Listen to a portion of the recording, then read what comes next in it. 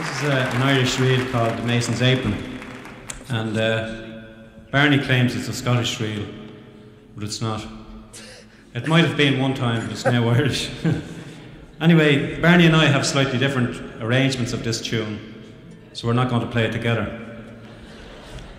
Uh, I'm going to give you the Irish version, Barney, the Irish version, on the fiddle, and uh, when I'm finished, Barney will give you his impression of. Barney you his impression of the thing, of the way he thinks it should be played on the banjo. Okay, the Mason's apron.